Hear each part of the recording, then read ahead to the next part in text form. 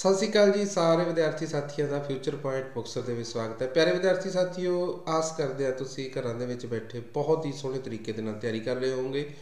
ਸੋ ਅੱਜ ਦੀ ਵੀਡੀਓ ਦੇ ਵਿੱਚ ਫੇਰ ਅਸੀਂ ਆਮ ਦੀ ਤਰ੍ਹਾਂ ਖਾਸ ਮਹੱਤਵਪੂਰਨ ਟੌਪਿਕ ਲੈ ਕੇ ਤੁਹਾਡੇ ਲਈ ਹਾਜ਼ਰ ਹੋਏ ਹਾਂ। ਪਿਆਰੇ ਵਿਦਿਆਰਥੀ ਸਾਥੀਓ, ਇਹ ਦੱਸਦੇ ਬੜੀ ਖੁਸ਼ੀ ਹੋ ਰਹੀ ਹੈ ਕਿ ਬਹੁਤ ਸਾਰੇ ਵਿਦਿਆਰਥੀ ਜਿਹੜੇ ਸਾਡੇ ਸੈਂਟਰ ਤੋਂ ਤਿਆਰੀ ਕਰਕੇ ਬਹੁਤ ਸਾਰੇ ਸਰਕਾਰੀ ਨੌਕਰੀਆਂ ਨੂੰ ਪ੍ਰਾਪਤ ਕਰ ਚੁੱਕੇ ਨੇ। ਜਿਵੇਂ ਸਕਰੀਨ ਤੇ ਤੁਸੀਂ ਦੇਖ ਰਹੇ ਹੋ ਕਿ ਸਰਕਾਰੀ ਨੌਕਰੀਆਂ ਪ੍ਰਾਪਤ ਕਰ ਚੁੱਕੇ ਵਿਦਿਆਰਥੀ ਇਹ ਸਾਡੇ ਸਾਹਮਣੇ ਨੇ ਤੇ ਹੁਣ ਵਾਰੀ ਸਿਰਫ ਤੁਹਾਡੀ ਹੈ। ਸੋ ਅਸੀਂ ਇਸ ਲੜੀ ਨੂੰ ਅੱਗੇ ਵੱਲ ਵਧਾਈਏ। ਸੋ ਅਸੀਂ ਅੱਜ ਦੀ ਜਿਹੜੀ ਵੀਡੀਓ ਡਿਸਾਈਡ ਕੀਤੀ ਹੈ ਵੀ ਕਿਸ ਟੌਪਿਕ ਤੇ ਬਣਾਉਣੀ ਹੈ, ਅੱਜ ਦੀ ਵੀਡੀਓ ਦਾ ਇੱਕ ਬਹੁਤ ਇੰਪੋਰਟੈਂਟ ਟੌਪਿਕ ਡਿਸਾਈਡ ਕੀਤਾ ਗਿਆ ਸੀਗਾ। ਇਹ ਸਾਰੇ ਦਾ ਸਾਰਾ ਕੀ ਹੋਇਆ ਕਿ ਸਾਡੇ ਕੋਲੇ ਪੰਜਾਬ ਸਰਕਾਰ ਦਾ ਇੱਕ ਨੋਟੀਫਿਕੇਸ਼ਨ ਆਇਆ। ਉਸ ਨੋਟੀਫਿਕੇਸ਼ਨ ਦੇ ਤਹਿਤ ਸਾਨੂੰ ਜਿਹੜਾ ਹੈਗਾ ਇੱਕ ਇਨਫੋਰਮੇਸ਼ਨ ਇਹ ਮਿਲੀ ਕਿ ਜੋ ਪੰਜਾਬ ਸਰਕਾਰ ਦੇ ਸਰਕਾਰੀ ਪੋਸਟਾਂ ਦੇ ਜਿਹੜੇ ਪੇਪਰ ਹੋਣਗੇ, ਉਹਨਾਂ ਪੇਪਰਾਂ ਤੋਂ ਪਹਿਲਾਂ ਇੱਕ ਪੰਜਾਬ ਦਾ ਇੱਕ ਵੱਖਰਾ ਟੈਸਟ ਹੋਏਗਾ, ਪੰਜਾਬੀ ਭਾਸ਼ਾ ਦਾ ਇੱਕ ਵੱਖਰਾ ਟੈਸਟ ਹੋਏਗਾ। ਸੋ ਉਸ ਟੈਸਟ ਦੇ ਵਿੱਚ ਹੁਣੇ ਪਿੱਛੇ ਜੇ ਸਾਡੇ ਕੋਲੇ ਸਟੈਨੋਗ੍ਰਾਫੀ ਦੇ ਜਿਹੜੇ ਬੱਚੇ ਤਿਆਰੀ ਕਰ ਰਹੇ ਆ, ਉਹਨਾਂ ਦਾ ਸਿਲੇਬਸ ਰਿਲੀਜ਼ ਹੋਇਆ। ਉਹ ਸਿਲੇਬਸ ਦੇ ਵਿੱਚ ਸਾਨੂੰ ਦੇਖਣ ਨੂੰ ਇਹ ਮਿਲਿਆ ਕਿ 50 ਨੰਬਰਾਂ ਦਾ ਪੇਪਰ ਆਏਗਾ 50 ਚੋਂ 25 ਨੰਬਰ ਲੈ ਕੇ ਪਾਸ ਹੋਣਾ ਹੈਗਾ। ਅੱਜ ਦੀ ਵੀਡੀਓ ਜਿਹੜੀ ਹੈਗੀ ਅਸੀਂ ਉਸੇ ਪੁਆਇੰਟ ਆਫ View ਤੋਂ ਤਿਆਰ ਕਰ ਰਹੇ ਹਾਂ, ਜਾਂ ਜੋ ਸਾਡਾ ਜਿਹੜਾ ਅੱਜ ਦੀ ਵੀਡੀਓ ਦੇ ਵਿੱਚ ਜਿਹੜਾ ਸਾਡਾ ਟੌਪਿਕ ਹੈ, ਉਹ ਬਿਲਕੁਲ ਅਸੀਂ ਉਸੇ ਪੁਆਇੰਟ ਆਫ View ਤੋਂ ਰੱਖਿਆ ਹੋਇਆ ਹੈ ਕਿ ਅਸੀਂ ਅੱਜ ਦੀ ਵੀਡੀਓ ਦੇ ਵਿੱਚ ਜੋ ਅਸੀਂ ਟੌਪਿਕ ਲੈ ਕੇ ਆਏ ਆ, ਇਸ ਟੌਪਿਕ ਦੇ ਵਿੱਚ ਅਸੀਂ ਪੂਰੇ ਪੰਜਾਬ ਦੀ ਜਾਣਕਾਰੀ ਤੁਹਾਡੇ ਨਾਲ ਸਾਂਝੀ ਕਰਨੀ ਸ਼ੁਰੂ ਕਰਾਂਗੇ। ਸੋ ਪੇਪਰ ਏ ਨੂੰ ਧਿਆਨ ਦੇ ਵਿੱਚ ਰੱਖਦੇ ਹੋਏ ਸਾਡੇ ਕੋਲੇ ਜਿਹੜਾ ਹੈਗਾ ਅੱਜ ਦਾ ਟੌਪਿਕ ਹੈ, ਅੱਜ ਦੀ ਵੀਡੀਓ ਹੈ, ਅੱਜ ਦੀ ਵੀਡੀਓ ਦੇ ਵਿੱਚ ਜਿਹੜਾ ਹੈ ਸਾਡੇ ਕੋਲੇ ਪੇਪਰ ਏ ਹੈ। ਵਿਸ਼ੇਸ਼ ਤੌਰ ਤੇ ਜਿਹੜਾ ਸਾਡੇ ਕੋਲੇ paper A PS triple PSB ਤੇ ਲੱਗ ਗਿਆ ਜੀ PSPCL ਤੇ ਲੱਗ ਗਿਆ, ਪਟਵਾਰੀ ਦੇ ਪੇਪਰਾਂ ਤੇ ਲੱਗ ਗਿਆ। ਬਹੁਤ ਸਾਰੇ ਜਿਹੜੇ ਹੁਣ 59 94 ਦੀ ਤਿਆਰੀ ਕਰ ਰਹੇ ਆ ਬੱਚੇ, ਉਹਨਾਂ ਬੱਚਿਆਂ ਦੇ ਪੇਪਰ ਤੋਂ ਪਹਿਲਾਂ ਪੇਪਰ ਪੇਪਰ ਏ ਹੋਏਗਾ। ਤੇ ਪੰਜਾਬ ਦੇ ਸਟੈਨੋ ਜਿਹੜੇ ਪੰਜਾਬੀ ਦੇ ਵਿੱਚ ਜਿਹੜੇ ਸਾਡੇ ਕਰ ਰਹੇ ਆ ਤਿਆਰੀ, ਉਹਨਾਂ ਦੇ ਵਿਚਕਾਰ ਜਿਹੜਾ ਟੈਸਟ ਇਹ ਐਡ ਕਰ ਦਿੱਤਾ ਗਿਆ। ਉਹਨਾਂ ਦਾ ਪੇਪਰ ਜਿਹੜਾ ਸਟੈਨੋ ਦਾ ਹੋਏਗਾ, ਉਸ ਤੋਂ ਪਹਿਲਾਂ ਸਾਡਾ ਇੱਕ ਪੰਜਾਬ ਟੈਸਟ ਵੀ ਪੇਪਰ ਹੋਏਗਾ। ਸੋ ਇਹਦੇ ਬਾਰੇ ਤੁਸੀਂ ਇਹ ਵੀ ਜਾਣਦੇ ਹੋ ਕਿ ਪੰਜਾਬ ਟੈਸਟ ਦੇ ਵਿੱਚ ਕੀ ਆਣਾ ਹੈ। ਪੰਜਾਬ ਇਤਿਹਾਸ ਇੱਕ ਬਹੁਤ ਇੰਪੋਰਟੈਂਟ ਟੌਪਿਕ ਆ ਉਹਦੇ ਵਿੱਚ। ਪੇਪਰ ਦੇ ਵਿੱਚ 50 ਨੰਬਰ ਦਾ ਸਾਨੂੰ ਕੁਐਸਚਨ ਪੇਪਰ ਮਿਲੇਗਾ ਤੇ 25 ਨੰਬਰ ਲੈ ਕੇ ਅਸੀਂ ਪਾਸ ਹੋਣਾ ਤੇ ਅੱਜ ਦੀ ਵੀਡੀਓ ਦਾਅਵੇ ਨਾਲ ਅਸੀਂ ਇਹ ਗੱਲ ਕਹਿੰਦੇ ਆ ਕਿ ਅੱਜ ਦੀ ਵੀਡੀਓ ਦੇ ਵਿੱਚ ਅਸੀਂ 1 ਨੰਬਰ ਦਾ ਕੰਮ ਪਿਆਰੇ ਵਿਦਿਆਰਥੀਓ, ਇੱਕ ਨੰਬਰ ਦਾ ਕੰਮ ਅੱਜ ਦੀ ਵੀਡੀਓ ਦੇ ਵਿੱਚ ਕਰਕੇ ਚੱਲਾਂਗੇ। ਸੋ ਸਾਡੀ ਅੱਜ ਦੀ ਵੀਡੀਓ ਜਿਹੜੀ ਹੈਗੀ ਹੈ ਪੰਜਾਬ ਇਤਿਹਾਸ ਤੇ ਹੈ, ਪੰਜਾਬ ਦੀ ਹਿਸਟਰੀ ਤੇ ਹੈ। ਸੋ ਅਸੀਂ ਦੇਖਦੇ ਹਾਂ ਕਿ ਜਿਹੜਾ ਪੰਜਾਬ ਸੀਗਾ, ਜੇ ਦੇਖਿਆ ਜਾਵੇ ਤਾਂ ਪੰਜਾਬ ਭਾਰਤ ਦੇ ਉੱਤਰ ਪੱਛਮ ਵਾਲੀ ਦਿਸ਼ਾ ਦੇ ਵਿੱਚ ਸਥਿਤ ਹੈ। ਜੇ ਅਸੀਂ ਪੰਜਾਬ ਨੂੰ ਹੀ ਸੈਂਟਰ ਮੰਨ ਲਈਏ ਤੇ ਪੰਜਾਬ ਦੇ ਨਾਰਥ ਸਾਊਥ ਵੈਸਟ ਈਸਟ ਇਹ ਸਾਈਡ ਤੇ ਦੇਖੀਏ ਵੀ ਪੰਜਾਬ ਦੇ ਬਿਲਕੁਲ ਸੱਜੇ ਕੀ ਹੈ, ਪੰਜਾਬ ਦੇ ਖੱਬੇ ਕੀ ਹੈ, ਪੰਜਾਬ ਦੇ ਉੱਪਰ ਕੀ ਹੈ, ਪੰਜਾਬ ਦੇ ਸਾਊਥ ਵਾਲੇ ਹਿੱਸੇ ਦੇ ਵਿੱਚ ਕੀ ਹੈ। ਤਾਂ ਜਿਹੜਾ ਸਾਡੇ ਕੋਲੇ ਨਾਰਥ ਹਿੱਸਾ ਹੈਗਾ, ਇੱਥੇ ਕਸ਼ਮੀਰ ਰਿਆਸਤ ਹੈ ਸਾਡੀ, ਜਿਹਨੂੰ ਜੰਮੂ ਕਸ਼ਮੀਰ ਬੋਲਦੇ ਆ। ਵੈਸਟ ਵਾਲੇ ਪਿੱਛੇ ਸਾਡੇ ਸਾਡੇ ਕੋਲੇ ਹੈਗਾ ਅਫਗਾਨਿਸਤਾਨ ਤੇ ਈਸਟ ਵਾਲੇ ਪਾਸੇ ਸਾਡੇ ਕੋਲੇ ਯੂਨਾਈਟਿਡ ਪ੍ਰੋਵੀਜ਼ਨਸ ਹੈਗਾ। ਤੇ ਸਾਊਥ ਦੇ ਵਿੱਚ ਬਿਲਕੁਲ ਪੰਜਾਬ ਦੇ ਨਾਲ ਟੱਚ ਕਰਦਾ ਜੀ, ਰਾਜਪੂਤਾਨਾ ਜਿਵੇਂ ਅਸੀਂ ਗੱਲ ਕਰੀਏ ਤਾਂ ਹਰਿਆਣਾ ਤੇ ਰਾਜਸਥਾਨ ਆ ਗਿਆ। ਸੋ ਇਹਦਾ ਸਾਡੀ ਇਹ ਡਾਇਰੈਕਸ਼ਨ ਦੇ ਅਕੋਰਡਿੰਗ ਗੱਲ ਹੈ। ਹੁਣ ਸਾਡੇ ਕੋਲੇ ਕੁਐਸਚਨ ਕਿਵੇਂ ਆਂਦਾ ਇਸ ਪੋਰਸ਼ਨ ਚੋਂ? ਪੰਜਾਬ ਇਤਿਹਾਸ ਦਾ ਕੁਐਸਚਨ ਕਿਵੇਂ ਮਿਲੇਗਾ? ਤਾਂ ਕੁਐਸਚਨ ਵੀ ਤੁਹਾਡੇ ਸਾਹਮਣੇ ਸਕਰੀਨ ਤੇ ਆ ਚੁੱਕਿਆ ਹੈ। ਪੰਜਾਬ ਦੇ ਪ੍ਰਾਚੀਨ ਨਾਮ ਬਾਰੇ ਜਾਣਕਾਰੀ ਕਰਾਂਗੇ ਤਾਂ ਪੰਜਾਬ ਦੇ ਵਿੱਚ ਜਿਹੜਾ ਪੰਜਾਬ ਹੈ, ਉਹਨੂੰ ਵੈਦਿਕ ਕਾਲ ਦੇ ਵਿੱਚ, ਵੈਦਿਕ ਪੀਰੀਅਡ ਦੇ ਵਿੱਚ ਪੰਜਾਬ ਨੂੰ ਕਿਸ ਨਾਮ ਨਾਲ ਜਾਣਿਆ ਜਾਂਦਾ ਸੀਗਾ? ਤਾਂ ਰਾਜੇ ਜਿਹੜੇ ਸਕਰੀਨ ਤੇ ਤੁਹਾਡੇ ਕੋਲੇ ਆਪਸ਼ਨਾਂ ਨਜ਼ਰ ਆ ਰਹੀਆਂ, ਪੰਜਾਬ ਦੇ ਵੱਖੋ ਵੱਖਰੇ ਸਮਿਆਂ ਦੇ ਨਾਮ ਹੈ। ਹੁਣ ਜਿਵੇਂ ਆਪਸ਼ਨ ਹੈਗੀ ਆ ਏ A ਹੈਗੀ ਆ, Panchanad B option Sapt Sindh C option Pentapotamia D option ਕਹਿੰਦੇ ਆ ਜੀ ਉਪਰੋਕਤ ਸਾਰੇ। ਹੁਣ ਉਪਰੋਕਤ ਸਾਰੇ ਤਾਂ ਨਹੀਂ ਹੋ ਸਕਦਾ, ਕਿਉਂਕਿ ਪੈਂਟਾਪਟਾਮੀਆ ਵੱਖਰੇ ਸਮੇਂ 'ਚ ਕਿਹਾ ਗਿਆ ਹੈ ਪੰਚਨੰਦ ਵੱਖਰੇ ਸਮੇਂ 'ਚ ਕਿਹਾ ਗਿਆ ਹੈ ਸਪਤ ਸਿੰਧੂ ਵੱਖਰੇ ਸਮੇਂ 'ਚ ਕਿਹਾ ਗਿਆ। ਤਾਂ ਰਿਕ ਵੈਦਿਕ ਕਾਲ ਦੀ ਗੱਲ ਕਰਦਾ ਉਹ, ਵੈਦਿਕ ਪੀਰੀਅਡ ਦੀ ਗੱਲ ਕਰਦਾ। ਪਹਿਲਾਂ ਤਾਂ ਧਿਆਨ ਨਾਲ ਇਹ ਗੱਲ ਸਮਝੀਏ ਕਿ ਵੈਦਿਕ ਪੀਰੀਅਡ ਦੇ ਵਿੱਚ ਕੀ ਸੀ? ਵੈਦਿਕ ਪੀਰੀਅਡ ਦੇ ਵਿੱਚ ਰਾਜੇ ਰਿਕ ਵੇਦ ਦੀ ਰਚਨਾ ਕੀਤੀ ਗਈ। ਤਾਂ ਵੈਦਿਕ ਪੀਰੀਅਡ ਦੇ ਵਿੱਚ ਰਿਗਵੇਦ ਦੇ ਵਿੱਚ ਜ਼ਿਕਰ ਕੀਤਾ ਗਿਆ ਕਿ ਜਿਹੜਾ ਪੰਜਾਬ ਹੈ, ਸੱਤ ਦਰਿਆਵਾਂ ਦੀ ਧਰਤੀ ਸੀ। ਇਹਨੂੰ ਸੱਤ ਦਰਿਆਵਾਂ ਧਰਤੀ ਹੋਣ ਦੇ ਨਾਤੇ ਨੂੰ ਸਪਤ ਸਿੰਧ ਦੇਸ਼ ਕਹਿੰਦੇ ਸੀਗੇ। ਵੈਦਿਕ ਪੀਰੀਅਡ ਦੇ ਵਿੱਚ ਰਿਗਵੇਦ ਦੀ ਰਚਨਾ ਹੋਈ ਸੀ। ਰਿਗਵੇਦ ਕਾਲ ਕਹਿੰਦੇ ਆ ਜੀ। ਰਿਗਵੇਦ ਚਾਰ ਵੇਦਾਂ ਦੇ ਵਿੱਚੋਂ ਪਹਿਲਾ ਵੇਦ ਹੈ। ਬਾਕੀ ਤਿੰਨ ਵੇਦ ਹੈ ਜਿਹੜੇ ਰਾਜੇ ਉੱਤਰ ਵੈਦਿਕ ਕਾਲ ਦੇ ਵਿੱਚ ਲਿਖੇ ਗਏ ਸੀਗੇ। ਸੋ ਇਸ ਤਰ੍ਹਾਂ ਦਾ ਕੁਐਸਚਨ ਮਿਲੇਗਾ। ਸੋ ਅੱਜ ਪਹਿਲਾਂ ਆਪਾਂ ਪੰਜਾਬ ਦੇ ਪ੍ਰਾਚੀਨ ਨਾਮ ਹੀ ਕਿਉਂ ਨਾ ਯਾਦ ਕਰ ਲਈਏ? ਪੰਜਾਬ ਦੇ ਪ੍ਰਾਚੀਨ ਨਾਮ ਆ ਜੀ, ਸਪਤ ਸਿੰਧ ਨਾਮ ਲਿਆ ਜਾਂਦਾ ਸੀ ਰਿਗਵੈਦਿਕ ਕਾਲ ਦੇ ਵਿੱਚ, ਵੈਦਿਕ ਪੀਰੀਅਡ ਦੇ ਵਿੱਚ। ਜਿਵੇਂ ਆਪਾਂ ਗੱਲ ਕੀਤੀ ਹੈ ਹੁਣੇ ਕੁਐਸਚਨ ਵੀ ਆਪਾਂ ਵੇਖਿਆ ਹੈਗਾ ਕਿ ਕਿਸ ਤਰੀਕੇ ਦੇ ਨਾਲ ਸਾਨੂੰ ਕੁਐਸਚਨ ਪੁੱਛਿਆ ਜਾ ਸਕਦਾ ਹੈ। ਤਾਂ ਪੰਚਨੰਦ ਨਾਮ ਜਿਹੜਾ ਹੈਗਾ, ਇਹ ਮਹਾਭਾਰਤ ਤੇ ਰਮਾਇਣ ਦੇ ਸਮੇਂ ਲਿਆ ਜਾਂਦਾ ਸੀ। ਦੇਖੋ ਮੇਰੇ ਵਿਦਿਆਰਥੀਓ, ਇਹ ਜਿਹੜਾ ਬੇਟੇ ਪੰਚਨੰਦ ਹੈ, ਇਹਦਾ ਮਤਲਬ ਵੀ ਸੀਗਾ ਜਿਹੜਾ ਪੰਜ ਦਰਿਆ। ਪੰਜ ਦਾ ਮਤਲਬ ਸੀ ਪੰਚ ਦਾ ਮਤਲਬ ਪੰਜ ਤੇ ਨੰਦ ਦਾ ਮਤਲਬ ਨਦੀਆਂ। ਹੁਣ ਮਹਾਭਾਰਤ ਤੇ ਰਮਾਇਣ ਸਾਡੇ ਕੋਲੇ ਦੋ ਇੱਕ ਬਹੁਤ ਵੱਡੇ ਐਪਿਕ ਹੋਏ ਆ, ਬਹੁਤ ਵੱਡੇ ਮਹਾਕਾਵਿਆ ਹੋਏ ਆ। ਇਹਨਾਂ ਦੇ ਵਿੱਚ ਪੰਚਨੰਦ ਨਗਰ ਦਾ ਜ਼ਿਕਰ ਕੀਤਾ ਗਿਆ, ਮਹਾਭਾਰਤ ਦੇ ਵਿੱਚ ਕੀਤਾ ਗਿਆ, ਰਮਾਇਣ ਦੇ ਵਿੱਚ ਜ਼ਿਕਰ ਕੀਤਾ ਗਿਆ। ਇਹਦਾ ਮਤਲਬ ਹੈ ਵੀ ਉਸ ਸਮੇਂ ਪੰਜਾਬ ਨੂੰ ਪੰਚਨੰਦ ਕਹਿੰਦੇ ਸੀ ਤੇ ਪੰਜਾਬ ਦਾ ਜ਼ਿਕਰ ਆ ਉਹ। ਜਿਹੜੇ ਇਹ ਰਿਗਵੇਦ ਹੈ, ਮਹਾਭਾਰਤ ਹੈ, ਵੇਦ ਵਿਆਸ ਜੀ ਉਹਨਾਂ ਨੇ ਲਿਖੀ, ਰਮਾਇਣ ਲਿਖੀ, ਸ਼੍ਰੀ ਮਹਾਰਿਸ਼ੀ ਵਾਲਮੀਕ ਜੀ ਨੇ, ਇਹ ਕਿਹਾ ਵੀ ਆ ਪ੍ਰੋਪਰਲੀ ਜੇ ਆਪਾਂ ਦੇਖੀਏ ਤਾਂ ਰਾਜੇ, ਪੰਜਾਬ ਦੀ ਧਰਤੀ ਤੇ ਲਿਖਿਆ ਗਿਆ ਸਭ ਕੁਝ ਇਤਿਹਾਸ। ਤਾਂ ਪੈਂਟਾਪਟਾਮੀਆ ਜਿਹੜਾ ਹੈਗਾ ਇਹ ਗ੍ਰੀਕ ਲੋਕਾਂ ਨੇ ਕਿਹਾ। ਗ੍ਰੀਕ ਲੋਕ ਕੌਣ ਸੀ ਬੇਟੇ? ਯੂਨਾਨੀ। ਯੂਨਾਨੀ ਕੌਣ ਸੀ? ਅੱਛਾ, ਭਾਰਤ ਦੇ ਵਿੱਚ 326 ਦੇ ਵਿੱਚ ਇੱਕ ਯੂਨਾਨੀ ਹਮਲਾਵਰ ਆਇਆ ਸੀਗਾ। ਕੌਣ ਸੀਗਾ ਉਹ? ਉਹਦਾ ਨਾਮ ਜਿਹੜਾ ਹੈਗਾ ਲਿਖ ਕੇ ਮੈਨੂੰ ਕਮੈਂਟ ਦੇ ਵਿੱਚ ਜਰੂਰ ਸ਼ੇਅਰ ਕਰੋ। ਕੌਣ ਆਇਆ ਸੀ? 326 ਦੇ ਵਿੱਚ ਕੌਣ ਯੂਨਾਨੀ ਹਮਲਾਵਰ ਆਇਆ ਸੀ ਭਾਰਤ ਦੇ ਵਿੱਚ? ਤੋ ਗ੍ਰੀਕ ਲੋਕ ਹੈ ਜਿਹੜੇ ਪੈਂਟਾਪਟਾਮੀਆ ਨਾਮ ਲੈਂਦੇ ਪੈਂਟਾਪਟਾਮੀਆ ਦਾ ਇੱਕ ਵੱਖਰਾ ਸ਼ਬਦੀ ਅਰਥ ਹੈ। ਪੈਂਟਾ ਦਾ ਮਤਲਬ ਹੈ ਪੰਜ ਪਟਾਮੀਆਂ ਦਾ ਮਤਲਬ ਹੈ ਨਦੀਆਂ, ਤਾਂ ਪੰਜ ਨਦੀਆਂ ਦਾ ਦੇਸ਼। ਪਹਿਲਾਂ ਸੱਤ ਨਦੀਆਂ ਦਾ ਦੇਸ਼ ਸੀਗਾ ਜੀ, ਹੁਣ ਪੰਜ ਨਦੀਆਂ ਦਾ ਦੇਸ਼ ਹੋ ਗਿਆ। ਅੱਗੇ ਅੱਗੇ ਦੇਖਦੇ ਜਾਓ ਕਿੰਨੀਆਂ ਨਦੀਆਂ ਘਟਦੀਆਂ ਜਾਂਦੀਆਂ। ਸੋ ਸਾਡੇ ਕੋਲੇ ਅੱਗੇ ਇੱਕ ਨਾਮ ਆਂਦਾ ਜੀ, ਟੱਕ ਦੇਸ਼। ਅੱਛਾ, ਪੰਜਾਬ ਦੇ ਵਿੱਚ ਕੁਝ ਟੱਕ ਕਬੀਲੇ ਦੇ ਨਾਮ ਨਾਲ ਮਸ਼ਹੂਰ ਸੀ ਲੋਕ ਕੁਝ ਜਾਤੀ ਸੀ ਇੱਥੇ, ਟੱਕ ਜਾਤੀ ਦੇ ਲੋਕ ਰਹਿੰਦੇ ਸੀਗੇ। ਉਹਨਾਂ ਦੀ ਵਜ੍ਹਾ ਦੇ ਨਾਲ ਜਿਹੜਾ ਹੈਗਾ ਪੰਜਾਬ ਨੂੰ ਟੱਕ ਦੇਸ਼ ਵੀ ਕਿਹਾ ਜਾਂਦਾ ਸੀਗਾ। ਫਿਰ ਜੀ ਹਿਊਨ ਸਾਂਗ ਨੇ ਇਹਨੂੰ ਪੰਜਾਬ ਨੂੰ ਸੇਕੀਆ ਕਿਹਾ ਹਿਊਨਸਾਂਗ ਨੇ ਸੇਕੀਆ ਗਿਆ। ਹਿਊਨਸਾਂਗ ਕਦੋਂ ਆਇਆ ਸੀ? ਕਿਸੇ ਵਿਦਿਆਰਥੀ ਨੂੰ ਪਤਾ ਹੈ? ਕਮੈਂਟ ਦੇ ਵਿੱਚ ਜਰੂਰ ਜ਼ਿਕਰ ਕਰੋ, ਹਿਊਨਸਾਂਗ ਕਦੋਂ ਆਇਆ ਸੀ? ਤੇ ਹਿਊਨ ਕਿਸ ਰਾਜੇ ਦੇ ਟਨਿਓਰ ਚ ਆਇਆ ਸੀ? ਕਿਹੜਾ ਭਾਰਤ ਦੇ ਵਿੱਚ ਉਸ ਸਮੇਂ ਸਮਰਾਟ ਸੀਗਾ? ਹਾਂ ਵੈਰੀ ਗੁੱਡ ਰਾਜੇ, ਬਹੁਤ ਅੱਛੇ। ਹਾਂਜੀ, ਮੈਂ ਦੱਸਦਾ ਤੁਹਾਨੂੰ, ਸਮਰਾਟ ਸੀ ਰਾਜੇ ਉਸ ਸਮੇਂ ਹਰਸ਼ਵਰਧਨ। ਹਰਸ਼ਵਰਧਨ ਦੇ ਪੀਰੀਅਡ ਦੇ ਵਿੱਚ ਹਿਊਨ ਸਾਂਗ ਆਂਦਾ। ਤੇ ਹਿਊਨ ਸਾਂਗ ਜਦੋਂ ਭਾਰਤ ਆਂਦਾ ਤੇ ਹਿਊਨ ਸਾਂਗ ਇੱਕ ਪੁਸਤਕ ਲਿਖਦਾ ਬੇਟਾ। ਪੁਸਤਕ ਕਿਹੜੀ ਪੁਸਤਕ ਲਿਖਦਾ ਹਿਊਨ ਸਾਂਗ? ਹਿਊਨ ਸਾਂਗ ਪੁਸਤਕ ਲਿਖਦਾ ਸੀ ਯੂ ਕੀ। ਕਿਹੜੀ ਪੁਸਤਕ ਲਿਖਦਾ ਜੀ? ਸੀ ਯੂ ਕੀ। ਲੋ ਮੈਂ ਅਕਸਰ ਕਈ ਵਾਰੀ ਕਲਾਸ ਦੇ ਵਿੱਚ ਗੱਲ ਕਰਿਆ ਕਰਦਾ ਕਿ ਹਿਊਨ ਸਾਂਗ ਆਇਆ, ਰਾਜਾ ਹਰਸ਼ਵਰਧਨ ਦਾ ਰਾਜ ਸੀਗਾ ਤੇ ਵੀ ਰਾਜ ਬਹੁਤ ਵੱਡਾ ਸੀਗਾ। ਤੇ ਹਿਊਨ ਸੰਗ ਆਇਆ ਤੇ ਹਿਊਨ ਸੰਗ ਕਹਿੰਦਾ ਵੀ ਰਾਜਾ ਜੀ, ਤੁਹਾਡਾ ਕਹਿੰਦਾ ਰਾਜ ਘੁੰਮਣਾ ਹੈ। ਚੀਨੀ ਯਾਤਰੀ ਸੀ ਹਿਊਨ ਸੰਗ।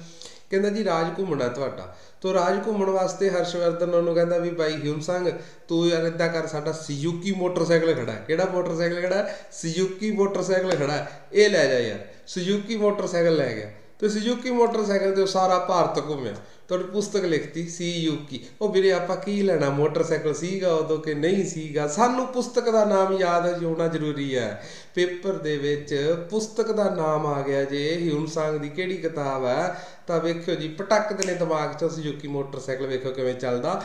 ਤਾਂ ਮੋਟਰਸਾਈਕਲ ਦਾ ਨਾਮ ਸੀਯੂਕੀ ਪੁਸਤਕ ਦਾ ਨਾਮ ਵੀ ਸੀਯੂਕੀ ਕਿਉਂਕਿ ਅਸੀਂ ਕੋਰਲੇਟ ਕਰਕੇ ਕੁਝ ਚੀਜ਼ਾਂ ਯਾਦ ਕਰੀਏ। ਕਿਤਾਬਾਂ ਪੜ੍ਹਦਿਆਂ ਨੂੰ ਬਹੁਤ ਟਾਈਮ ਹੋ ਗਿਆ। ਮਾਈਂਡ ਦੇ ਵਿੱਚ ਚੀਜ਼ ਟਿਕਾਣੀ ਕਿਵੇਂ ਹੈ? ਸਾਈਕੋਲੋਜੀਕਲੀ ਉਸ ਚੀਜ਼ ਨੂੰ ਅਸੀਂ ਕਿਵੇਂ ਦਿਮਾਗ ਦੇ ਵਿੱਚ ਬਿਠਾਣਾ ਹੈ? ਇਹ ਸਾਰੀਆਂ ਚੀਜ਼ਾਂ ਸਾਡੀ ਕਲਾਸ ਦੇ ਵਿੱਚ ਤੁਹਾਨੂੰ ਦੇਖਣ ਨੂੰ ਨਜ਼ਰ ਆਉਣਗੀਆਂ। ਤੇ ਯਾਦ ਵੀ ਦੇਖਿਓ, ਕਹਿੰਦੇ ਨੇ ਚੁਟਕੀ ਵਜਾ ਕੇ ਯਾਦ ਹੋਊਗਾ। ਮੈਂ ਕਈ ਵਾਰੀ ਕਲਾਸ 'ਚ ਗੱਲ ਕਹਿਣਾ ਨਾ, ਦਮ ਹੈ ਤਾਂ ਭੁੱਲ ਕੇ ਦਿਖਾ। ਲੋ ਜੀ, ਹੁਣ ਜੇ ਦਮ ਹੈ ਤਾਂ ਭੁੱਲ ਕੇ ਦਿਖਾ ਕਿ ਹਿਊਨ ਸੰਗ ਦੀ ਪੁਸਤਕ ਦਾ ਕੀ ਨਾਮ ਹੈ? ਕੀ ਨਾਮ ਹੈ ਜੀ? ਸਿਯੂਕੀ ਬਿਲਕੁਲ ਜੀ, ਸ਼ਾਬਾਸ਼ ਵੈਰੀ ਗੁੱਡ ਤਾਂ ਲਾਹੌਰ ਸੂਬਾ ਮਹਾਰਾਜਾ ਰਣਜੀਤ ਸਿੰਘ ਦਾ ਦਰਬਾਰ ਸੀ, ਇੱਕ ਬੇਟੇ, ਇੱਕ ਸੀ ਲਾਹੌਰ ਦਰਬਾਰ। ਜਿਹੜਾ ਲਾਹੌਰ ਸੀਗਾ, ਲਾਹੌਰ ਲਾਹੌਰ ਸੂਬਾ ਬੋਲਦੇ ਸੀ ਮੁਗਲਾਂ ਦੇ ਸਮੇਂ। ਮੁਗਲਾਂ ਦੇ ਸਮੇਂ ਬੇਟਾ ਜਦੋਂ ਸਾਡੇ ਕੋਲੇ ਮੁਗਲ ਸਾਮਰਾਟ ਆ ਗਏ ਸੀਗੇ, ਬਾਬਰ ਹੋਰੀ ਆ ਗਏ ਸੀ, ਹਮਾਯੂ ਹੋਰੀ ਆ ਗਏ ਸੀ, ਅਕਬਰ ਹਰਾਂ ਦਾ ਦੌਰ ਚੱਲਿਆ। ਉਸ ਪੀਰੀਅਡ ਦੇ ਵਿੱਚ ਲਾਹੌਰ ਸੂਬਾ ਬੋਲਿਆ ਜਾਂਦਾ ਸੀਗਾ। ਐਂਡ ਦੈਨ ਜਦੋਂ ਸਾਡੇ ਕੋਲੇ ਮਹਾਰਾਜਾ ਰਣਜੀਤ ਸਿੰਘ ਦਾ ਪੀਰੀਅਡ ਆ ਗਿਆ, ਮਹਾਰਾਜਾ ਰਣਜੀਤ ਸਿੰਘ ਦੇ ਪੀਰੀਅਡ ਦੇ ਵਿੱਚ ਪੰਜਾਬ ਨੂੰ ਲਾਹੌਰ ਦਰਬਾਰ ਦਾ ਨਾਮ ਦਿੱਤਾ ਜਾਣ ਲੱਗ ਗਿਆ। ਫਿਰ ਮਹਾਰਾਜਾ ਰਣਜੀਤ ਸਿੰਘ ਦੀ ਮੌਤ ਹੋ ਜਾਂਦੀ ਹੈ ਜੀ 1839 ਨੂੰ। ਉਸ ਤੋਂ ਬਾਅਦ ਸਾਡੇ ਕੋਲੇ ਲੱਗਦੀਆਂ ਦੋ ਸਿੱਖ ਐਂਗਲੋ ਵਾਰ ਤੇ ਬਿਲਕੁਲ ਲਾਸਟ ਦੂਸਰੀ ਸਿੱਖ ਐਂਗਲੋ ਵਾਰ ਦਾ ਜਿਹੜਾ ਅੰਤ ਹੁੰਦਾ 1849 ਦੇ ਵਿੱਚ ਹੁੰਦਾ ਤੇ 1849 ਨੂੰ ਜਾ ਕੇ ਜਿਹੜਾ ਪੰਜਾਬ ਹੈ ਬੇਟੇ ਨੋਟ ਕਰਿਓ ਕਾਪੀਆਂ ਦੇ ਉੱਤੇ 29 ਮਾਰਚ 1849 ਡੇਟ ਫਿਕਸ ਹੈ ਬੇਟਾ, ਕਿਹੜੀ ਡੇਟ ਹੈ? 29 ਮਾਰਚ 1849 ਪੰਜਾਬ ਅੰਗਰੇਜ਼ੀ ਸਾਮਰਾਜ ਦੇ ਅਧੀਨ ਚਲੇ ਗਿਆ ਲਾਰਡ ਡਲਹੌਜ਼ੀ। ਯਾਦ ਰਹੂਗਾ ਡਲਹੌਜ਼ੀ ਦਾ ਨਾਮ? Lord Dalhousie. ਮੈਂ ਅਕਸਰ ਕਈ ਵਾਰੀ ਕਲਾਸ ਦੇ ਵਿੱਚ ਬੱਚਿਆਂ ਨੂੰ ਦੱਸ ਦਿੰਦਾ ਵੀ ਪਹਿਲਾਂ ਅਸੀਂ ਕਿਰਪਾਨਾਂ ਨਾਲ ਲੜੇ, ਫਿਰ ਅਸੀਂ ਡੰਡਿਆਂ ਨਾਲ ਲੜੇ, ਫਿਰ ਭਾਲਿਆਂ ਨਾਲ ਲੜੇ। ਅਖੀਰ ਤੇ ਜਦੋਂ ਅੰਗਰੇਜ਼ਾਂ ਦੇ ਵਾਹ ਨਾ ਚੱਲਿਆ ਤਾਂ ਫਿਰ ਅਸੀਂ ਡਲਿਓ ਡਲੀ ਹੋ ਗਏ। ਡਲਿਓ ਡਲੀ, ਡਲੇ ਡਲੇ ਡਲੇ ਤੋਂ ਯਾਦ ਰਹਿ ਜੂਗਾ ਡਲਹੌਜੀ। ਤਾਂ ਫਿਰ ਅੰਗਰੇਜ਼ਾਂ ਦੀਆਂ ਤੋਪਾਂ ਦੇ ਮੂਰੇ ਕਿਹੜੇ ਡਲਿਆਂ ਦਾ ਜ਼ੋਰ ਚੱਲਿਆ? ਤਾਂ ਡਲਹੌਜ਼ੀ ਡਲਹੌਜ਼ੀ ਲੈ ਗਿਆ ਪੰਜਾਬ ਨੂੰ। ਕਦੋਂ ਲੈ ਗਿਆ? 29 ਮਾਰਚ 1849 ਪੰਜਾਬ ਅੰਗਰੇਜ਼ੀ ਰਿਆਸਤ ਦੇ ਵਿੱਚ ਸ਼ਾਮਲ ਕਰ ਲਿਆ। ਲਓ ਜੀ, ਇਹ ਸਾਡੇ ਕੋਲੇ ਪੰਜਾਬ ਦੇ ਕੁਝ ਪ੍ਰਾਚੀਨ, ਸਾਡੇ ਪ੍ਰਾਚੀਨ ਨਾਮ ਸੀਗੇ। ਜੇ ਅਸੀਂ ਗੱਲ ਕਰੀਏ ਤਾਂ ਪੰਜਾਬ ਦੇ ਵਿੱਚ ਸੱਤ ਦਰਿਆ ਵਗਦੇ ਤਾਂ ਸੱਤਾਂ ਦਰਿਆਵਾਂ ਦੇ ਨਾਮ ਤੁਹਾਡੇ ਸਾਹਮਣੇ ਸਕਰੀਨ ਤੇ ਆ ਚੁੱਕੇ ਨੇ। ਨੋਟ ਕਰ ਲਿਆ ਜੇ। ਸਤਲੁਜ ਬਿਆਸ ਰਾਵੀ ਚਨਾਬ ਜੇਲਮ ਸਿੰਧ ਤੇ ਸਰਸਵਤੀ। ਤਾਂ ਬੇਟੇ ਇਹਨਾਂ ਦੇ ਉਸ ਸਮੇਂ ਕੁਝ ਪ੍ਰਾਚੀਨ ਨਾਮ ਵੀ ਹੋਇਆ ਕਰਦੇ ਸੀ। ਬਹੁਤ ਸਾਰੇ ਪੇਪਰਾਂ ਦੇ ਵਿੱਚ, ਬਹੁਤ ਸਾਰੇ ਪੇਪਰਾਂ ਦੇ ਵਿੱਚ ਪ੍ਰਾਚੀਨ ਪੰਜਾਬ ਦੇ ਨਾਮ, ਪ੍ਰਾਚੀਨ ਦਰਿਆਵਾਂ ਦੇ ਨਾਮ ਪੁੱਛੇ ਗਏ ਬੇਟੇ। ਤੇ ਆਪਾਂ ਕਿਉਂ ਨਾ ਇਹਨਾਂ ਨੂੰ ਵੀ ਇੱਕ ਝਟਕੇ ਨਾਲ ਯਾਦ ਕਰ ਲਈਏ। ਬਹੁਤ ਸੌਖੇ ਤਰੀਕੇ ਨਾਲ ਯਾਦ ਹੋਣਗੇ। ਸਤਲੁਜ ਦਰਿਆ ਜੀ। ਸਤਲੁਜ ਨੂੰ ਬੋਲਦੇ ਸੀ ਸਤੁਦਰੀ। ਸਤਲੁਜ ਦਰਿਆ ਦੇ ਵਿੱਚ ਬਹੁਤ ਵੱਧ ਕੇ ਆਉਂਦਾ ਸੀ, ਸੁਰਤ ਮਾਰ ਦਿੰਦਾ ਸੀ ਪੰਜਾਬੀਆਂ ਦੀ। ਜਦੋਂ ਚੜ ਕੇ ਆਉਂਦਾ ਸੀ ਤਾਂ ਬਹੁਤ ਸਾਡਾ ਨੁਕਸਾਨ ਹੁੰਦਾ ਸੀਗਾ। ਫਿਰ ਜਿਹਦੀ ਸ਼ਕਤੀ ਤੇ ਜਦੋਂ ਅਸੀਂ ਠੱਲ ਪਾਈ ਠੱਲ ਪਾਈ ਜੀ, ਫਿਰ ਉਹਦੇ ਉੱਤੇ ਅਸੀਂ ਬਣਾਇਆ ਭਾਖੜਾ ਡੈਮ। ਜਦੋਂ ਭਾਖੜਾ ਡੈਮ ਬਣਾ ਲਿਆ ਤੇ ਇਹਦੇ ਵਿੱਚ ਪਾਣੀ ਦੇ ਵਿੱਚੋਂ ਪੈਦਾ ਕਰ ਲਈ ਬਿਜਲੀ। ਜਦੋਂ ਅਸੀਂ ਬਿਜਲੀ ਪੈਦਾ ਕਰ ਲਈ, ਫਿਰ ਉਸ ਪਾਣੀ ਹੋ ਗਿਆ ਠੰਡਾ। ਹੁਣ ਉਹਦੇ ਤੇ ਕੰਟਰੋਲ ਹੋ ਗਿਆ। ਸੁਤਦਰੀ ਦਰਿਆ ਦੇ ਉੱਤੇ, ਸਤਲੁਜ ਦਰਿਆ ਦੇ ਉੱਤੇ, ਭਾਖੜਾ ਡੈਮ ਹੈ ਤੇ ਭਾਖੜਾ ਡੈਮ ਦੇ ਪਿਛਲੇ ਪਾਸੇ ਬੇਟਾ ਇੱਕ ਝੀਲ ਹੈ। ਉਹਦਾ ਨਾਮ ਮੈਨੂੰ ਕਮੈਂਟ ਦੇ ਵਿੱਚ ਲਿਖ ਕੇ ਜਰੂਰ ਸ਼ੇਅਰ ਕਰਿਆ ਜੀ ਪੁੱਤਰ। ਠੀਕ ਹੈ ਜੀ? ਤਾਂ ਸਤਲੁਜ ਦਾ ਨਾਮ ਕੀ ਆ ਗਿਆ ਜੀ? ਸਤਲੁਜਰੀ ਆ ਗਿਆ ਜੀ? ਬਿਆਸ ਬਿਆਸ ਦਰਿਆ, ਬਿਆਸ। ਅਸੀਂ ਕਈ ਵਾਰੀ ਮੈਂ ਜਮਾਤ 'ਚ ਬੱਚਿਆਂ ਨੂੰ ਕਹਿੰਦਾ ਨਾ ਵਿਪਾਸ਼ਾ ਬਾਸੂ ਬਿਆਸ ਬਹੁਤ ਆਉਂਦੀ ਹੈ ਜੀ। ਕੌਣ ਬਿਆਸ ਆਉਂਦੀ ਹੈ ਜੀ? ਵਿਪਾਸ਼ਾ ਬਾਸੂ, ਉਹ ਬਾਈ ਆਪਾਂ ਕੀ ਲੈਣਾ? ਵਿਪਾਸ਼ਾ ਬਾਸੂ ਆਂਦੀ ਹੈ ਕਿ ਨਹੀਂ ਆਂਦੀ ਬਿਆਸ? ਬਾਸੂ ਹਟਾ ਦਿਓ, ਵਿਪਾਸ਼ਾ ਰਹਿ ਗਿਆ। ਬਿਆਸ ਦਾ ਪੁਰਾਤਨ ਨਾਮ ਕੀ ਹੈ ਜੀ? ਵਿਪਾਸ਼ਾ, ਕੀ ਨਾਮ ਹੈ ਜੀ? ਵਿਪਾਸ਼ਾ। ਲਓ ਜੀ, ਅੱਗੇ ਆ ਗਿਆ ਜੀ ਰਾਵੀ। ਮੈਂ ਕਿਹਾ ਜੀ, ਦਰਿਆ ਮੇਲ ਹੁੰਦਾ ਕਿ ਫੀਮੇਲ ਹੁੰਦਾ? ਕਹਿੰਦੇ ਜੀ ਫੀਮੇਲ ਹੁੰਦਾ। ਲਓ ਜੀ, ਮੈਂ ਫਿਰ ਸਹੀ ਹੈ ਨਾਮ ਬਣ ਗਿਆ। ਜਦੋਂ ਇਸ ਕੋਈ ਔਰਤ ਮਰਦਾਂ ਵਰਗੀ ਲੱਗੇ ਤਾਂ ਆਪਾਂ ਕਹਿ ਦਿੰਦੇ ਆ ਵੀ ਇਸ ਔਰਤ ਦੇ ਵਿੱਚ ਮਰਦਾਂ ਵਰਗੇ ਲੱਛਣ ਨੇ ਤਾਂ ਅਸੀਂ ਉਹਨੂੰ ਸਾਈਕੋਲੋਜੀਕਲੀ ਜਿਵੇਂ ਅਸੀਂ ਪੜ੍ਹਦੇ ਆ ਤਾਂ ਅਸੀਂ ਕਹਿ ਦਿੰਦੇ ਆ ਪੁਰਸ਼ਨੀ ਤਾਂ ਰਾਵੀ ਦਰਿਆ ਦਾ ਨਾਮ ਸੀਗਾ ਪੁਰਸ਼ਨੀ। ਕੀ ਨਾਮ ਹੈ ਜੀ? ਪੁਰਸ਼ਨੀ। ਪੁਰਸ਼ਨੀ ਮਤਲਬ ਕਿ ਪੁਰਸ਼ਾਂ ਵਰਗੀ। ਰਾਵੀ ਪੁਰਸ਼ਨੀ। ਨੈਕਸਟ ਹੈਗਾ ਜੀ ਚਨਾਬ। ਲੋ ਜੀ, ਚਨਾਬ ਦਾ ਨਾਮ ਆਉਂਦਾ ਹੀ, ਪੰਜਾਬ ਦੀ ਲਵ ਸਟੋਰੀ ਯਾਦ ਆ ਜਾਂਦੀ ਹੈ। ਕਿਹੜੀ ਜੀ? ਰੋਮੀਓ ਜੂਲੀਅਟ ਪੰਜਾਬ ਦੇ। ਕੌਣ ਸੀਗੇ ਜੀ? ਸੱਸੀ ਪੁੰਨੂ, ਸੋਹਣੀ ਮਹੀਵਾਲ, ਮਿਰਜ਼ਾ ਸਹਿਵਾ ਹੀਰ ਰਾਂਝਾ। ਕੌਣ ਸੀ ਇਹਨਾਂ ਦੇ ਵਿੱਚੋਂ ਜਿਹੜੇ ਚਨਾਬ ਦੇ ਕੰਡੇ ਤੇ ਮਿਲਦੇ ਸੀ? ਬਿਲਕੁਲ ਸਹੀ ਜੀ। ਸੋਹਣੀ ਮਹੀਵਾਲ। ਸੋਨੀ ਮਹੀਵਾਲ ਚਨਾਬ ਦੇ ਕੰਡੇ ਤੇ ਮਿਲਦੇ ਸੀਗੇ। ਤੇ ਚਨਾਬ ਦੇ ਕੰਡੇ ਦੇ ਵਿੱਚ ਮਿਲਦੇ ਸੀ ਸੋਨੀ ਮਹੀਵਾਲ, ਪਿਆਰ ਕਰਦੇ ਸੀ ਤੇ ਸਾਡੇ ਤਾਂ ਜੀ ਠੇਠ ਪੰਜਾਬੀ ਦੇ ਵਿੱਚ, ਠੇਠ ਪਿੰਡੂ ਖੇਤਰ ਦੇ ਵਿੱਚ ਇੱਕ ਸ਼ਬਦ ਬੋਲ ਦਿੰਦੇ ਆ ਜੀ। ਕੀ ਕਰਦੇ ਸੀ ਜੀ? ਆਸ਼ਕੀ, ਕੀ ਕਰਦੇ ਸੀ? ਆਸ਼ਕੀ ਤੇ ਇਹਦਾ ਦਰਿਆ ਦਾ ਨਾਮ ਰੱਖਤਾ ਜੀ। ਅਸ਼ਕਣੀ, ਕੀ ਨਾਮ ਹੈ ਜੀ ਇਹਦਾ? ਅਸ਼ਕਣੀ, ਚਨਾਬ ਦਾ ਕੀ ਨਾਮ ਹੈ ਜੀ? ਅਸ਼ਕਣੀ। ਲਓ ਜੀ, ਦਮ ਹੈ ਤਾਂ ਭੁੱਲ ਕੇ ਦੇਖਾ। ਲਓ ਜੀ, ਜੇਲਮ ਜੇਲਮ ਆ ਗਿਆ ਜੀ, ਜੇਲਮ ਦਰਿਆ ਦਾ ਨਾਮ ਦੋ ਹੈ ਰਾਜੇ ਇੱਕ ਤਾਂ ਗ੍ਰੀਕ ਨਾਮ ਹੈ ਤੇ ਇੱਕ ਨਾਮ ਹੈਗਾ ਜਿਹੜਾ ਵਿਤਸਤਾ ਜਿਹੜਾ ਗ੍ਰੀਕ ਨਾਮ ਹੈ, ਇਹ ਤਾਂ ਪਿਆ ਸੀਗਾ, ਗ੍ਰੀਕ ਲੋਕ ਆਏ ਸੀ, ਮੈਂ ਤੁਹਾਨੂੰ ਪੁੱਛਿਆ ਸੀ 326 ਚ ਕੌਣ ਆਇਆ, ਬਹੁਤ ਸਾਰੇ ਵਿਦਿਆਰਥੀਆਂ ਨੇ ਕਮੈਂਟ ਕਰ ਰਹੇ ਨੇ ਥੈਂਕ ਯੂ ਧੰਨਵਾਦ। 326 ਦੇ ਵਿੱਚ ਸਾਡੇ ਕੋਲੇ ਸਿਕੰਦਰ ਆਇਆ ਸੀਗਾ। ਤਾਂ ਉਹਨਾਂ ਦਾ ਯੁੱਧ ਹੋਇਆ ਸੀ ਜੇਲਮ ਦਰਿਆ ਦੇ ਕੰਢੇ ਤੇ ਸਪੋਰਸ ਦੇ ਨਾਲ। ਠੀਕ ਹੈ ਜੀ, ਤਾਂ ਪੋਰਸ ਦੇ ਨਾਲ ਜਦੋਂ ਯੁੱਧ ਹੁੰਦਾ ਤਾਂ ਜੇਲਮ ਦਰਿਆ ਦੇ ਕੰਢੇ ਤੇ ਹੁੰਦਾ, ਗ੍ਰੀਕ ਭਾਸ਼ਾ ਦੇ ਵਿੱਚ ਜੇਲਮ ਦਰਿਆ ਨੂੰ ਹਾਈਡਸਪੇਸਸ ਕਿਹਾ ਗਿਆ ਤੇ ਪੰਜਾਬੀ ਭਰਾ ਭਾਸ਼ਾ ਦੇ ਵਿੱਚ ਇਹਦਾ ਪ੍ਰਾਚੀਨ ਨਾਮ ਹੈ ਜਿਹੜਾ ਗ੍ਰੰਥਾਂ ਦੇ ਵੇਦਾਂ ਦੇ ਵਿੱਚ ਆਇਆ ਉਹ ਵਿਤਸਤਾ ਆਇਆ ਸਿੰਧ ਨੂੰ ਅਸੀਂ ਸਿੰਧ ਬੋਲਦੇ ਹਾਂ ਜੀ। ਸਰਸਵਤੀ ਦਰਿਆ ਜਿਹੜਾ ਹੈਗਾ, ਸੁਰਸਤੀ ਹੈ, ਉਹ ਮਤਲਬ ਅਲੋਪ ਹੋ ਗਿਆ। ਬਹੁਤ ਸਾਰੀਆਂ ਕਿਤਾਬਾਂ ਦੇ ਵਿੱਚ ਇਹ ਪੜਨ ਨੂੰ ਮਿਲਿਆ ਕਿ ਜਿਹੜਾ ਸਰਸਵਤੀ ਦਰਿਆ ਹੈ ਅਲੋਪ ਹੋ ਗਿਆ ਤੇ ਪੰਜਾਬ ਦੇ ਵਿੱਚ ਇੱਕ ਮੌਸਮੀ ਦਰਿਆ ਵਹਿੰਦਾ ਪੁੱਤਰ, ਉਹਦਾ ਨਾਮ ਹੈ ਘੱਗਰ। ਬਹੁਤ ਸਾਰੇ ਕਿਤਾਬਾਂ ਦੇ ਵਿੱਚ ਇਹ ਮੈਂਸ਼ਨ ਕੀਤਾ ਗਿਆ ਕਿ ਘੱਗਰ ਹੈ ਜਿਹੜਾ ਸਰਸਵਤੀ ਹੈ। ਮਤਲਬ ਸਰਸਵਤੀ ਅਲੋਪ ਹੋ ਗਿਆ ਸੀ, ਮੌਸਮੀ ਦਰਿਆ ਹੈ ਵੱਖਰੇ ਤੌਰ ਤੇ ਹੈ ਘੱਗਰ। ਤੇ ਘੱਗਰ ਦਰਿਆ ਨੂੰ ਅਸੀਂ ਕਹਾਂਗੇ ਮੌਸਮੀ ਦਰਿਆ। ਬਾਕੀ ਇਹ ਸਾਰੇ ਜਿਹੜੇ ਦਰਿਆ ਸੀ ਬੇਟੇ 12 ਦਰਿਆ ਸੀਗੇ, ਜਿਹੜੇ 12 ਮਹੀਨੇ ਪੂਰਾ ਵਹਿੰਦੇ ਸੀਗੇ। ਸੋ ਆਪਾਂ ਨੂੰ ਦਰਿਆਵਾਂ ਦੇ ਨਾਮ ਵੀ ਯਾਦ ਹੋ ਗਏ, ਆਪਾਂ ਨੂੰ ਪੰਜਾਬ ਦੇ ਪ੍ਰਾਚੀਨ ਨਾਮ ਵੀ ਯਾਦ ਹੋ ਗਏ। ਤਾਂ ਰਿਗਵੇਦ ਦੇ ਵਿੱਚ ਸਭ ਤੋਂ ਵੱਧ ਕਿਹੜੀ ਨਦੀ ਦਾ ਜ਼ਿਕਰ ਹੋਇਆ ਜੀ? ਸਿੰਧ ਨਦੀ ਦਾ। ਤੇ ਵੈਦਿਕ ਕਾਲ ਦੇ ਵਿੱਚ ਸਭ ਤੋਂ ਪਵਿੱਤਰ ਨਦੀ ਮੰਨੀ ਗਈ ਹੈ ਜੀ ਸਰਸਵਤੀ। ਦੇਖੋ ਜ਼ਿਕਰ ਸਿੰਧ ਦਾ ਹੋਇਆ ਤੇ ਪਵਿੱਤਰ ਮੰਨੀ ਗਈ ਹੈ ਸਰਸਵਤੀ। ਪੂਰਬ ਵੱਲ ਵੀ ਸਰਸਵਤੀ ਹੈ ਤੇ ਪੱਛਮ ਦੇ ਵੱਲ ਸਿੰਧ ਨਦੀ ਹੈ ਸਾਡੀ। ਇਹਨਾਂ ਦੋਵਾਂ ਦੇ ਕਿਨਾਰਿਆਂ ਦੇ ਉੱਤੇ, ਜਿਹੜਾ ਇਹਨਾਂ ਕਿਨਾਰੇ ਆ, ਇਹਨਾਂ ਦੇ ਵਿਚਕਾਰਲੇ ਹਿੱਸਿਆਂ ਦੇ ਵਿੱਚ ਚਨਾਬ, ਸਤਲੁਜ, ਜੇਹਲਮ ਤੇ ਰਾਵੀ ਨਦੀਆਂ ਵਹਿੰਦੀਆਂ। ਤਾਂ ਸਾਡੇ ਕੋਲੇ ਪੂਰੀਆਂ ਸੱਤ ਦੀਆਂ ਸੱਤ ਨਦੀਆਂ ਦੇ ਅਸੀਂ ਪ੍ਰਾਚੀਨ ਨਾਮ ਪੜ੍ਹ ਲਏ, ਪੰਜਾਬ ਦੇ ਪ੍ਰਾਚੀਨ ਨਾਮ ਪੜ੍ਹ ਲਏ ਤੇ ਆਪਾਂ ਵਰਤਮਾਨ ਪੰਜਾਬ 'ਚ ਦੇਖੀਏ ਤਾਂ ਅੱਜ ਕੁੱਲ ਕਿੰਨੇ ਦਰਿਆ ਵਹਿੰਦੇ ਆ। ਇੱਕ ਪੇਪਰ ਆਇਆ ਸੀ ਪੰਜਾਬ ਦੇ ਵਿੱਚ, ਉਹਦੇ ਵਿੱਚ 2.5 ਦੀ ਆਪਸ਼ਨ ਆ ਗਈ। ਤਾਂ ਸਾਨੂੰ ਹੁਣ 2.5 ਦੀ ਆਪਸ਼ਨ ਅਸੀਂ ਦਿਮਾਗ ਚੋਂ ਕੱਢ ਨਹੀਂ ਸਕਦੇ। ਨਾਲ ਤਾਂ 2.5 ਹੈ ਜਾਂ ਪੰਜਾਬ 3 ਹੈ। ਠੀਕ ਹੈ ਜੀ? ਅੱਜ ਵਰਤਮਾਨ ਸਮੇਂ ਦੇ ਵਿੱਚ ਪੰਜਾਬ ਦੇ ਵਿੱਚ ਤਿੰਨ ਦਰਿਆ ਵਗਦੇ ਵੀਰੇ। ਇੱਕ ਆ ਗਿਆ ਸਤਲੁਜ, ਦੂਜਾ ਆ ਗਿਆ ਬਿਆਸ, ਤੀਸਰਾ ਆ ਗਿਆ ਰਾਵੀ। ਤੇ ਰਾਵੀ ਥੋੜਾ ਇੰਟਰ ਹੁੰਦਾ। ਕਈ ਵਾਰੀ ਅੱਧਾ ਕਹਿੰਦੇ ਆ ਬਾਕੀ ਬਹੁਤ ਸਾਰੇ ਵਿਦਵਾਨ ਲੋਕ ਹੋ ਤੁਸੀਂ, ਬਹੁਤ ਪੜ੍ਹੇ ਹੋਏ ਹੋ। ਤੁਹਾਨੂੰ ਆਪਸ਼ਨਾਂ ਤੋਂ ਬਿਲਕੁਲ ਕਲੀਅਰ ਹੋ ਜਾਏਗਾ, ਬਿਲਕੁਲ ਕਲੀਅਰ ਕੱਟ ਹੋ ਜਾਏਗਾ ਕਿ ਕਿੰਨੇ ਦਰਿਆ ਵਗਦੇ ਨੇ ਤੇ ਕਿਹੜੇ ਆਪਸ਼ਨ ਉਹਦਾ ਆਨਸਰ ਸਹੀ ਹੈਗਾ। ਸੋ ਪੰਜਾਬੀ ਭਾਸ਼ਾ ਦੇ ਵਿੱਚ ਸ਼ਬਦ ਜਿਹੜਾ ਆਇਆ, ਪੰਜਾਬ ਪੰਜਾਬ ਸ਼ਬਦ ਜਿਹੜਾ ਆਇਆ ਬੇਟਾ, ਫਾਰਸੀ ਭਾਸ਼ਾ ਤੋਂ ਪਰਸ਼ੀਅਨ ਲੈਂਗੁਏਜ ਤੋਂ ਪੰਜਾਬ ਸ਼ਬਦ ਬਣਿਆ। ਤੇ ਜਿਹੜਾ ਪੰਜਾਬ ਆ, ਹਾਂਜੀ 29 ਮਾਰਚ 1849 ਨੂੰ ਜਿਹੜਾ ਪੰਜਾਬ ਆ, ਅੰਗਰੇਜ਼ੀ ਸਾਮਰਾਜ ਦੇ ਅਧੀਨ ਚਲਿਆ ਗਿਆ ਸੀ। ਉਸ ਤੋਂ ਬਾਅਦ ਅਸੀਂ ਇਹਨੂੰ ਪੰਜਾਬ ਸ਼ਬਦ ਦਾ ਨਾਮ ਦਿੱਤਾ। ਤਾਂ ਪੰਜਾਬ ਆ ਜਿਹੜਾ ਇਹ ਦੋ ਸ਼ਬਦਾਂ ਤੋਂ ਮਿਲ ਕੇ ਬਣਿਆ ਪੰਜ ਤੇ ਆਪ। ਪੰਜ ਦਾ ਮਤਲਬ 5 ਜਿਵੇਂ ਪੰਜ ਗਿਣਤੀ ਦੇ ਆਪਾਂ ਕਰਦੇ ਆ ਆਪ ਦਾ ਮਤਲਬ ਹੈ ਬਾਈ, ਪਾਣੀ ਜਾਂ ਨਦੀਆਂ। ਤਾਂ ਪੰਜ ਨਦੀਆਂ ਦਾ ਸੁਮੇਲ ਜਾਂ ਪੰਜ ਦਰਿਆਵਾਂ ਦਾ ਸੁਮੇਲ ਜਾਂ ਪੰਜ ਪਾਣੀਆਂ ਦਾ, ਤਾਂ ਇਹ ਬਣ ਗਿਆ, ਪੰਜਾਬ ਬਣ ਗਿਆ। ਪੰਜਾਬ ਨੂੰ ਅੰਗਰੇਜ਼ੀ ਸਾਮਰਾਜ ਦੇ ਵਿੱਚ ਮਿਲਾਇਆ ਗਿਆ ਸੀ। ਐਗਜ਼ੈਕਟ ਡੇਟ ਮੈਂ ਤੁਹਾਨੂੰ ਪਹਿਲਾਂ ਵੀ ਦੱਸੀ ਸੀ ਕਿ ਕੁਐਸਚਨ ਪੁੱਛਿਆ ਵੀ ਗਿਆ ਹੈ। ਪੰਜਾਬ ਨੂੰ ਅੰਗਰੇਜ਼ੀ ਸਾਮਰਾਜ ਕਦੋਂ ਮਿਲਾਇਆ ਗਿਆ ਸੀ? 29 ਮਾਰਚ 1849 ਗਵਰਨਰ ਕੌਣ ਸੀ? ਲਾਰਡ ਡਲਹੌਜ਼ੀ। ਪੰਜਾਬ ਦੇ ਜਿਹੜਾ ਪੰਜਾਬ ਆ ਸਾਡਾ, ਉਹ ਇੰਡੀਆ ਦੇ ਨਾਰਥ ਵੈਸਟ ਦੇ ਵਿੱਚ ਆ ਉੱਤਰ ਪੱਛਮ ਦੇ ਵਿੱਚ ਹੈ ਤੇ ਪੰਜਾਬ ਇੰਡਸ ਬੇਸਨ 'ਚ ਸਥਿਤ ਹੈ। ਇਹ ਦੋਨੇ ਆਪਸ਼ਨਾਂ ਹੀ ਕੁਐਸਚਨ ਆਏ ਹੋਏ ਆ, ਦੋਨੇ ਹੀ। ਇੱਕ ਪੇਪਰ ਦੇ ਵਿੱਚ ਉਹਨੇ ਇਹ ਪੁੱਛਿਆ ਵੀ ਪੰਜਾਬ ਦੀ ਸਥਿਤੀ ਕੀ ਹੈ ਭਾਰਤ ਦੇ ਵਿੱਚ। ਤਾਂ ਦੇਖੋ, ਜੇ ਤਾਂ ਡਾਇਰੈਕਸ਼ਨ ਵਾਈਜ਼ ਪੁੱਛੇਗਾ, ਫਿਰ ਸਾਡਾ ਬਣ ਜਾਏਗਾ ਉੱਤਰ ਪੱਛਮ। ਤੇ ਜੇ ਉਹ ਪੁੱਛ ਰਿਹਾ ਹੈਗਾ ਪੰਜਾਬ ਕਿੱਥੇ ਸਥਿਤ ਹੈ ਤੇ ਆਪਸ਼ਨਾਂ ਜੇ ਬੇਸਨਸ ਦੇ ਅਕੋਰਡਿੰਗ ਆ ਰਹੀਆਂ, ਤਾਂ ਫਿਰ ਇੰਡਸ ਬੇਸਨ ਦੇ ਵਿੱਚ ਹੈ ਪਿੱਛੇ ਜੇ ਪੇਪਰ ਹੋਇਆ ਸੀਗਾ 6635 ETT ਦਾ, ਉਹਦੇ ਵਿੱਚ ਆਇਆ। ਪੀ ਟ੍ਰਿਪਲ ਐਸ ਦਾ ਜੋ ਕਲਰਕਾਂ ਦਾ ਲਾਸਟ ਪੇਪਰ ਹੋ ਕੇ ਹਟਿਆ, ਉਹਦੇ ਵਿੱਚ ਆਇਆ। ਪੀਐਸਪੀਸੀਐਲ ਦਾ ਜੋ ਪਿੱਛੇ ਜੇ ਪੇਪਰ ਹੋਏ ਸੀ, ਤਿੰਨ ਚਾਰ ਸ਼ਿਫਟਾਂ 'ਚ ਪੇਪਰ ਹੋਏ ਸੀ, ਉਹਨਾਂ ਦੋ ਸ਼ਿਫਟਾਂ 'ਚ ਪੇਪਰ ਆਇਆ।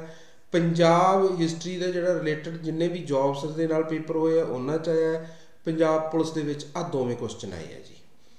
ਪੰਜਾਬ ਭਾਰਤ ਦੇ ਰਾਜ ਦਾ ਜਿਹੜਾ ਖੇਤਰਫਲ ਹੈ ਜੇ ਪੂਰੇ ਭਾਰਤ ਦੀ ਗੱਲ ਕਰੀਏ ਬੇਟਾ, ਤਾਂ ਭਾਰਤ ਦੇ ਵਿੱਚ ਟੋਟਲ ਇਸ ਸਮੇਂ ਸਾਡੇ ਕੋਲੇ 28 ਰਾਜ ਹੈ ਤਾਂ ਉਹਨਾਂ 28 ਰਾਜਾਂ ਦੇ ਵਿੱਚੋਂ 18ਵਾਂ ਰਾਜ ਹੈ ਇਹ ਭਾਰਤ ਦਾ ਆਕਾਰ ਵਾਈਜ਼ ਖੇਤਰਫਲ ਦੇ ਵਾਈਜ਼ ਤੇ ਪੂਰੇ ਭਾਰਤ ਦੇ ਖੇਤਰਫਲ ਦਾ ਜੇ ਘੇਰਾ ਦੇਖੀਏ ਵੀ ਕਿੰਨਾ ਘੇਰਦਾ ਪੂਰੇ ਭਾਰਤ ਦੇ ਵਿੱਚੋਂ ਕਿੰਨਾ ਖੇਤਰਫਲ ਲੈਂਦਾ ਇਹ, ਤਾਂ 1.53% ਖੇਤਰਫਲ ਹੈ ਪੰਜਾਬ ਦਾ। ਸੋ ਪਿਆਰੇ ਵਿਦਿਆਰਥੀਓ, ਇਹ ਪੰਜਾਬ ਦੀ ਜਾਣਕਾਰੀ ਸੀ। ਮੈਂ ਤੁਹਾਨੂੰ ਬਹੁਤ ਥੋੜੇ ਸਮੇਂ ਦੇ ਵਿੱਚ ਬਹੁਤ ਇੰਪੋਰਟੈਂਟ ਤੇ ਬਹੁਤ ਵਧੀਆ ਜਾਣਕਾਰੀ ਦੇਣ ਦੀ ਕੋਸ਼ਿਸ਼ ਕੀਤੀ ਹੈ। ਸੋ ਸਕਰੀਨ ਤੇ ਸਾਡੇ ਨਤੀਜੇ ਵੀ ਤੁਹਾਡੇ ਸਾਹਮਣੇ ਨੇ। ਸਰਕਾਰੀ ਨੌਕਰੀਆਂ ਪ੍ਰਾਪਤ ਕਰ ਚੁੱਕੇ ਵਿਦਿਆਰਥੀਆਂ ਦੀਆਂ ਤਸਵੀਰਾਂ। ਜੇ ਤੁਸੀਂ ਚੈਨਲ ਦੇ ਨਾਲ ਜੁੜੇ ਰਹੋ ਤਾਂ ਚੈਨਲ ਦੇ ਨਾਲ ਪੜ੍ਹਦੇ ਰਹੋ, ਤਾਂ ਅਗਲੇ ਵਿਦਿਆਰਥੀ ਤੁਸੀਂ ਵੀ ਹੋ ਸਕਦੇ ਹੋ ਸਰਕਾਰੀ ਨੌਕਰੀ ਦੇ ਉੱਤੇ। ਸੋ ਤੁਹਾਡੀ ਸਫਲਤਾ ਦੇ ਲਈ ਅਸੀਂ ਅਰਦਾਸ ਕਰਦੇ ਹਾਂ, ਤੁਹਾਡੀ ਮਿਹਨਤ ਨੂੰ ਫਲ ਲੱਗੇ। ਇਸ ਚੀਜ਼ ਦੀ ਅਸੀਂ ਉਮੀਦ ਲੈ ਕੇ ਬੈਠੇ ਹਾਂ। ਸੋ ਪਿਆਰੇ ਵਿਦਿਆਰਥੀ ਸਾਥੀਓ, ਅੱਜ ਦਾ ਜੇ ਵੀਡੀਓ ਚੰਗਾ ਲੱਗਿਆ ਤਾਂ ਇਸ ਨੂੰ ਚੈਨਲ ਨੂੰ ਲਾਈਕ ਕਰੋ ਤੇ ਬਹੁਤ ਵਿਦਿਆਰਥੀਆਂ ਤੱਕ ਇਹਨੂੰ ਪਹੁੰਚਾਓ।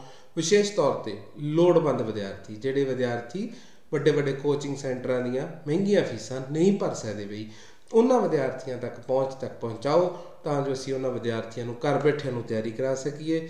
ਸੋ ਤੁਹਾਡੀ ਮਿਹਨਤ ਨੂੰ ਸਫਲਤਾ ਮਿਲੇ। ਮਿਲਦੇ ਹਾਂ ਜੀ ਅਗਲੀ ਵੀਡੀਓ ਲੈ ਕੇ, ਫਿਰ ਇੰਪੋਰਟੈਂਟ ਵੀਡੀਓ, ਫਿਰ ਮਹੱਤਵਪੂਰਨ ਵੀਡੀਓ। ਤੇ ਅੱਜ ਦੀ ਵੀਡੀਓ ਦੇ ਵਿੱਚੋਂ ਇੱਕ ਪ੍ਰੋਮਿਸਰ ਆ ਜੇ, ਇੱਕ ਨੰਬਰ ਪੱਕਾ ਪੇਪਰ ਏ ਦੇ ਵਿੱਚ। ਥੈਂਕ ਯੂ ਜੀ।